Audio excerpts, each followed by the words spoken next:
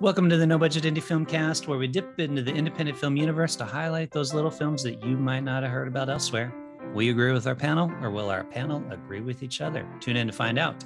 I am Milo Dennison, and with me, as always, is Claire Milan. Hello. And Cathal Feeney. Hello. All right, Cathal, what's on the agenda this week?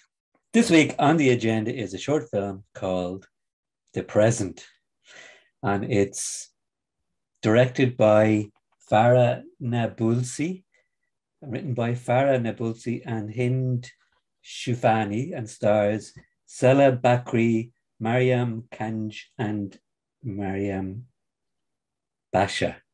So it's a Palestinian film, and it was nominated for an Oscar in 2021.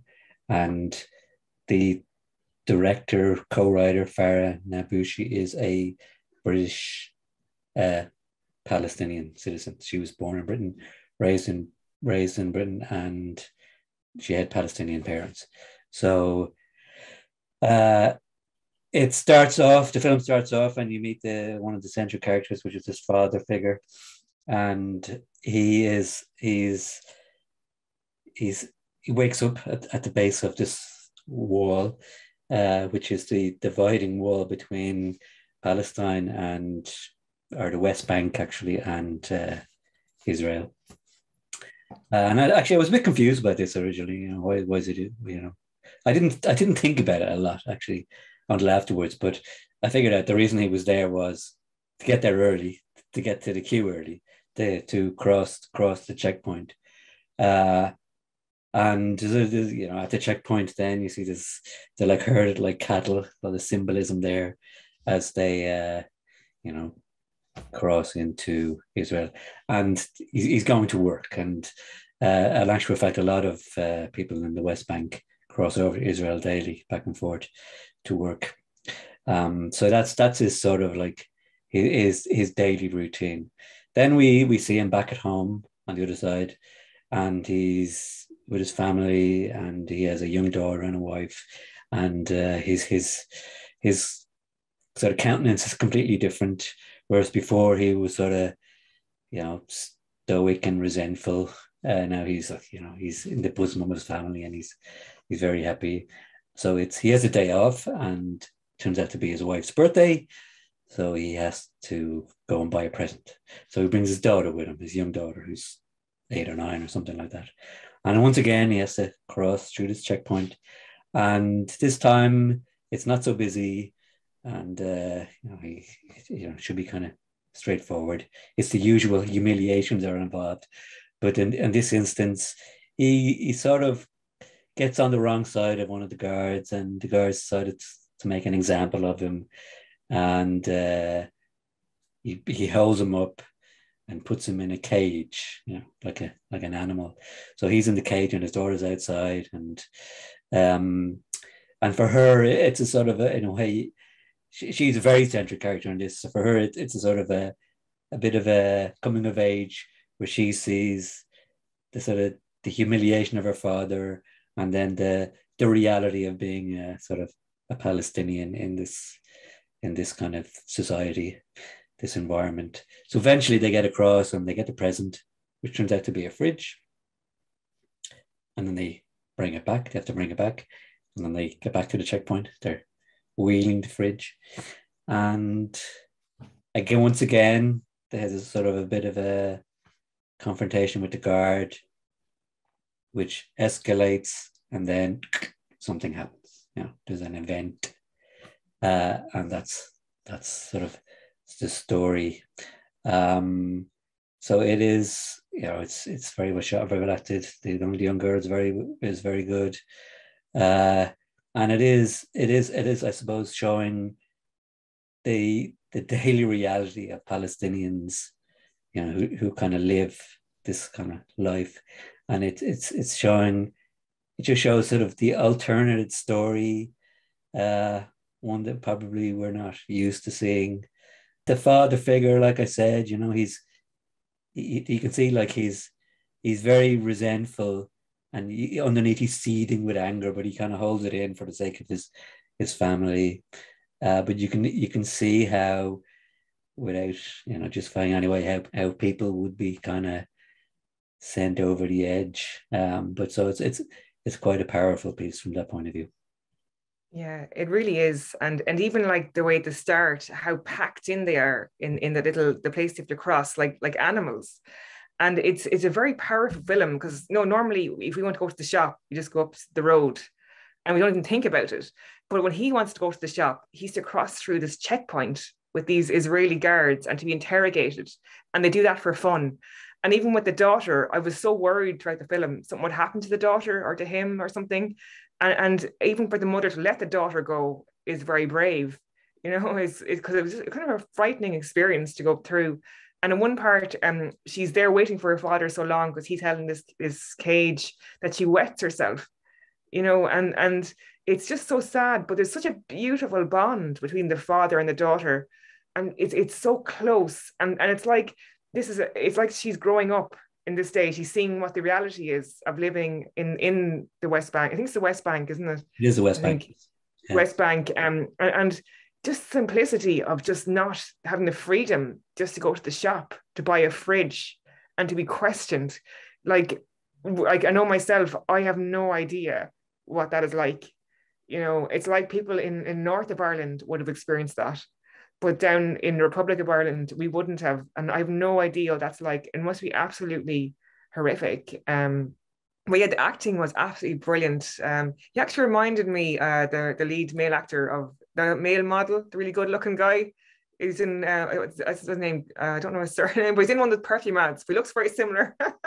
so he's really good looking. This this lead actor, um, uh, and uh, you know does help in the story but uh, I, yeah, I just thought it was beautiful, even to start with the wife, and just there's a lot of love there, even though there's a lot of conflict in the background and terror, and just just the way the Israeli soldiers just look down at him and just abuse and bully him, and for the daughter to witness that, it's so sad, but it's such a beautiful story, and in one way, it's it's it's very the locations are very simple and it's used to such great effect because they could have made it really complicated with putting in loads of different people and stuff. But really the central narrative of it is really simple with location but extremely powerful. Um so yeah i really enjoyed it uh, yeah it was interesting because uh, at, at the beginning i honestly wasn't really enjoying it. The whole bit with the family at the home. I didn't see the need for the camera movement when the guy's in the bed and stuff, which was kind of annoying. I'm like, why are they doing this? There's no drama here. Like it's unnecessary. Uh, and, and, it was a bit cheesy with the, the, the husband and the wife and stuff. But then when you get to the border stuff, yeah. that's really where this film picks up for me, I think.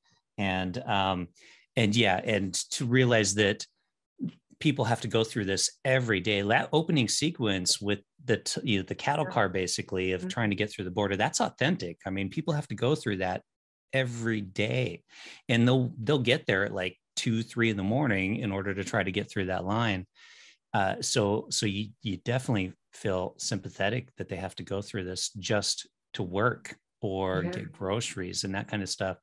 Um, it, it's interesting because like I I get frustrated. I I can. Re- this guy's frustration is funny yeah. because he has to do this all the time, and you could just. This is the quality of his performance too. Is you could sense like the anger and the frustration, but trying to hold it back and not lash out.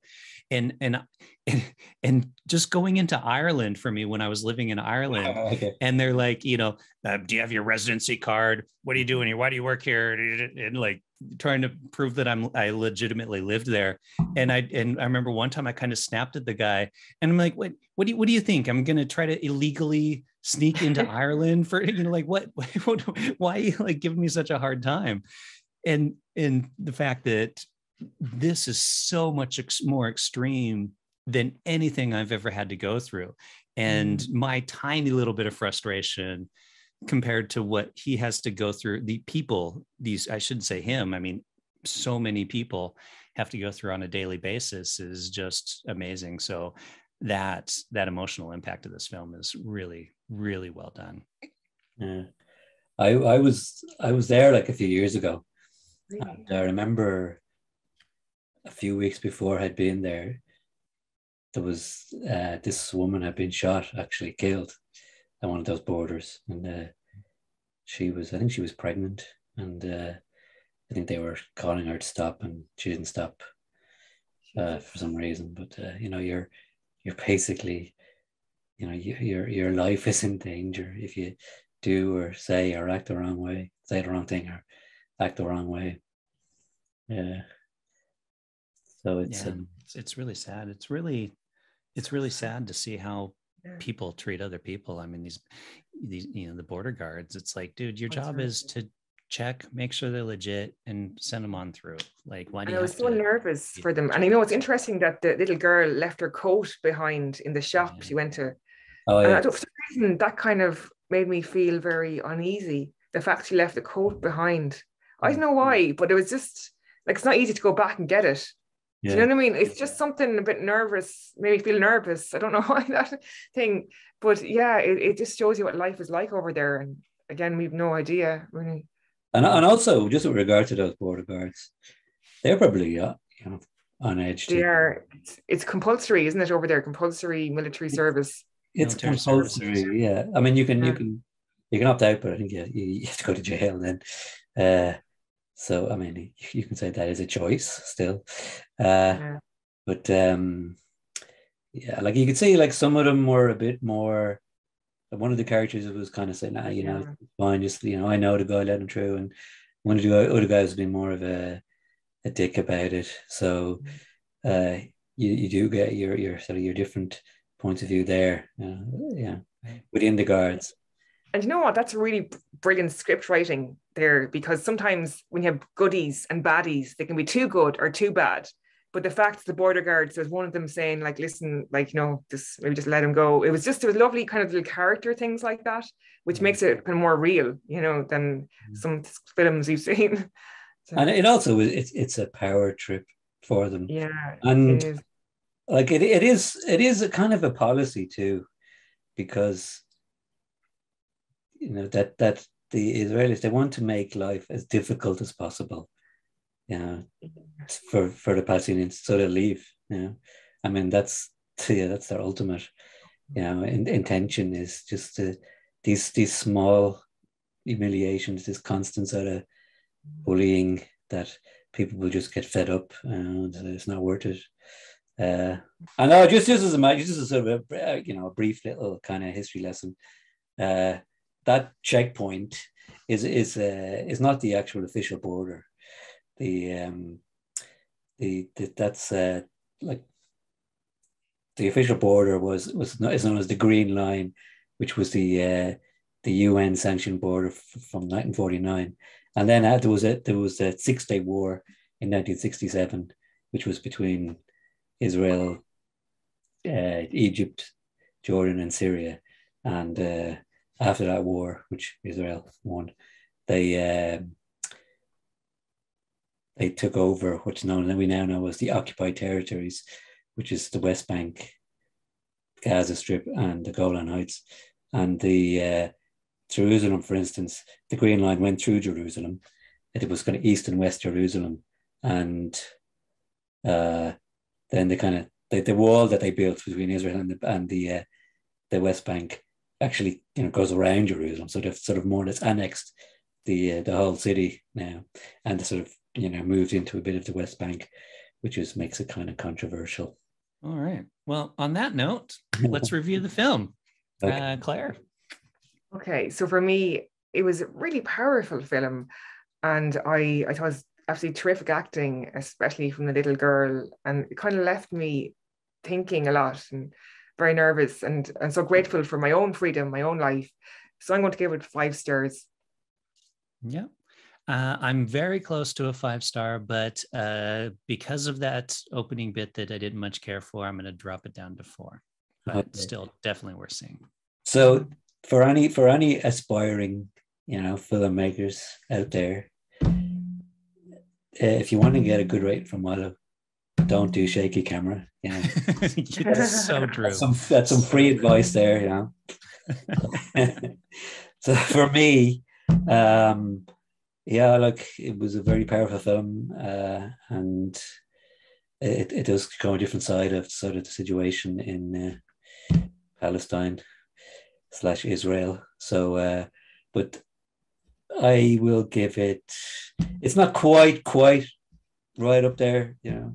So I'm going to give it four and a half. All right. Uh, I, sh- I should add to that if the shaky cam's relevant to what's happening on scene, yeah. I'm okay with it. And with that, we will say we seem to like this film and we think you should check it out as well. It's called The Present. You can see it on Netflix at the moment and check it out. Let us know what you think via comment, reaching out to us on social media. We're on Instagram, Twitter, and Facebook at No Budget Show. And we'll say, see you next time to see what we're watching. Goodbye. Bye. Bye.